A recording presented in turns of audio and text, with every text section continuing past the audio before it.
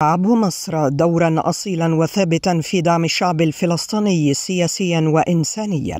في مقابل التصعيد الإسرائيلي الجاري ضد قطاع غزة ودأبت منظمات المجتمع المدني المصري في تقديم كل الدعم للشعب الفلسطيني من خلال تقديم كافة أوجه الدعم والمساندة للأشقاء الفلسطينيين في ظل هذه الظروف الحرجة حيث أعربت مؤسسة حياة كريمة. عن أسفها العميق لتصاعد العنف في قطاع غزة واكدت تضامنها الكامل مع الشعب الفلسطيني وتقديم الدعم والمساندة له.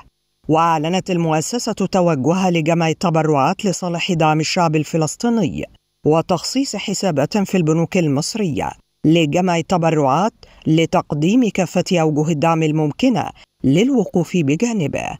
يأتي ذلك تنفيذا لتوجيهات الرئيس السيسي لتقديم كافة أوجه الدعم الممكنة انطلاقا من دور مؤسسة حياة كريمة الريادي في التنمية داخل مصر وخارجها والوقوف مع الدول الشقيقة في أزماتها وأوقاتها العصيبة. وتنفيذا لتوجيهات الرئيس السيسي يستعد التحالف الوطني للعمل الأهلي التنموي لإرسال قافلة شاملة محملة بكميات ضخمة من المساعدات الإنسانية والمواد الغذائية والعلاجية. تضم أطباء من جميع التخصصات وأدوية وأجهزة طبية لدعم الأشقاء الفلسطينيين.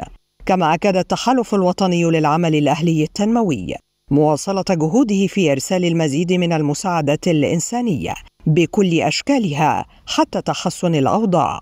جمعية الهلال الأحمر المصري من جهتها أعلنت تسليم مجموعة من المساعدات الطبية الطارئة للأشقاء في فلسطين استجابة لتداعيات الأحداث في قطاع غزة وأعلنت الجمعية أنها تعمل مع جمعية الهلال الأحمر الفلسطيني على مدار الساعة للتنسيق والوقوف على الأحداث الجارية بالقطاع. وأعلنت الجمعية انطلاق قافلة إغاثية إنسانية إلى معبر رفح البري لتكون على أهبة الاستعداد لاستقبال الحالة الحرجة التي قد يستدعي نقلها عبر الحدود المصرية وكذلك تقديم الدعم النفسي وخدمات الإسعافات الأولية النفسية للعابرين من قطاع غزة.